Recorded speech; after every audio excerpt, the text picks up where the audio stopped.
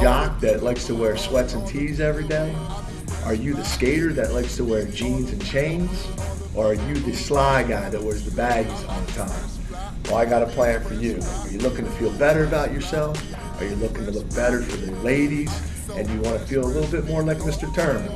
Well, then Tie Day Tuesdays is for you.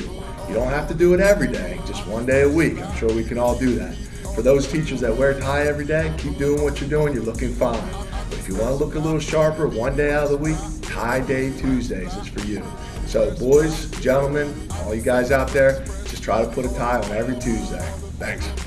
All of the above, all of, the above. I be fresh, fly,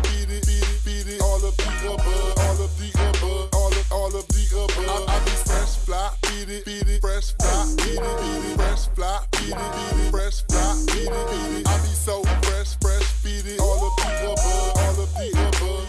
all of the above, all of, all of the above. I be